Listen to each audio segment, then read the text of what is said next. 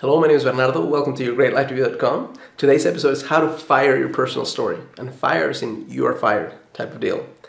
Uh, what is a personal story? Personal story is a beautiful thing. It's a series of bullshit excuses that we come up with in order to justify why we are not where we want to be in life.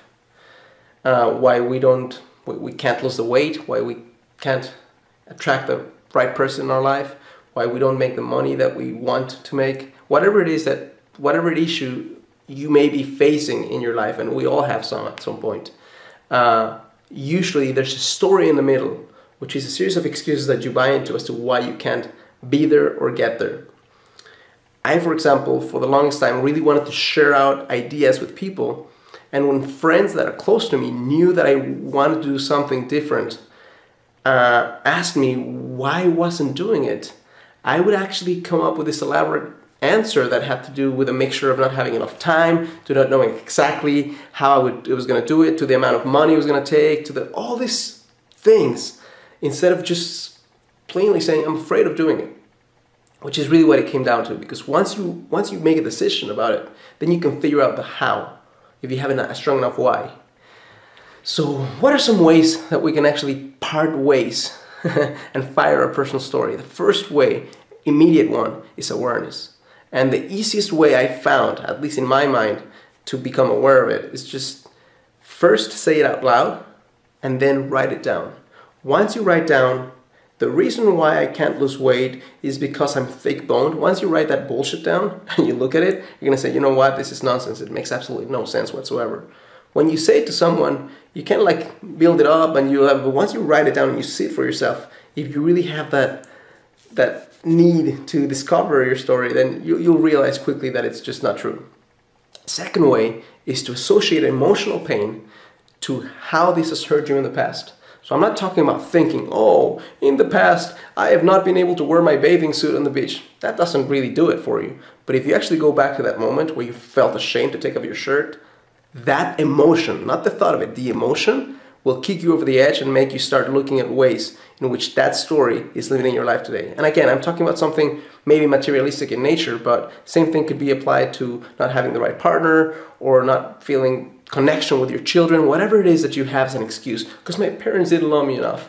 So what? I think we can all come come out on the other end because the only reason why I'm saying this is because you can find examples of people that faced the exact same situation that you faced, and maybe you decided that A was the answer, and they decided B, even facing the same situation.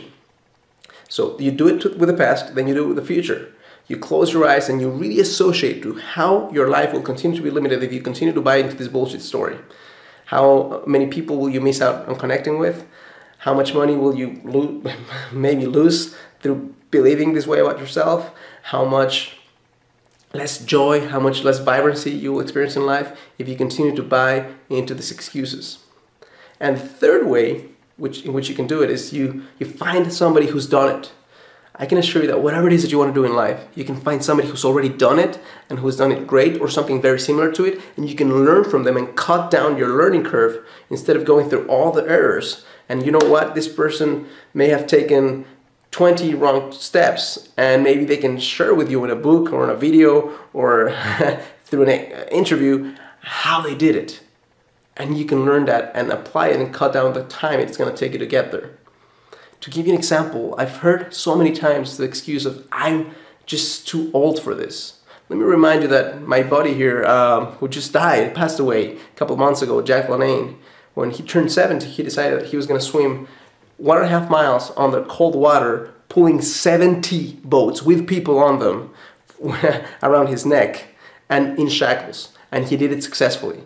So whenever you try to think, I mean, but that person has a specific way of thinking and believing and is not buying into a story saying, I'm too old. So my challenge for you today is, again, let's talk more action. My, act, my challenge for you today is to think about not all your stories, but your main story. what is your main story? What is the thing that's maybe in your life holding you back the most? And what can you do on this realm of writing it down, associating pain to the past and the future, and finding somebody who's actually broken through that and come out on successful on the other end? If you can do those three things, I can guarantee you that you can fire your story. But not only that, fire up your life, which is even better. So, as always, I'm asking you to live a full life and a conscious life, and I'm challenging you to discover your story, to challenge your story, to fire your story, and to come out the other end with a better sense of reality.